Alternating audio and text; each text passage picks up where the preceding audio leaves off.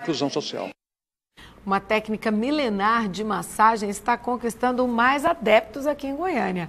A repórter Camila Teixeira explica os benefícios do tratamento.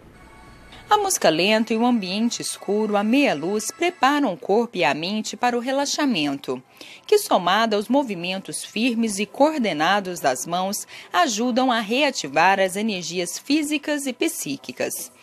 Os óleos terapêuticos à base de ervas medicinais complementam o trabalho de revitalizar os tecidos do corpo.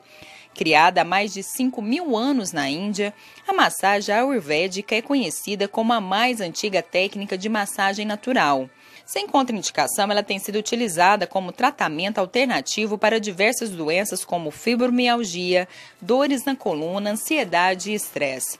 É o que explica a professora e massoterapeuta Simone Garuda. Não é uma simples massagem, né? é uma sessão que dura uma hora e meia e nesse trabalho a gente costuma trabalhar o corpo físico, o corpo energético, emocional e espiritual dos nossos clientes. Acostumada a cuidar do corpo das outras pessoas, a fisioterapeuta Maria Paula buscou a massagem ayurvédica como terapia para mente e corpo. Então, a busca de também a gente estar bem, de bem com o corpo, com tudo, com a energia, para cuidar do outro, né? Porque a gente, enquanto fisioterapeuta, acaba sempre cuidando do terceiro e a gente não pode deixar de se cuidar. A Arlene experimentou a massagem pela primeira vez. Ela aproveitou a clínica social com um valor mais acessível por sessão, a doula pôde conhecer a técnica indiana.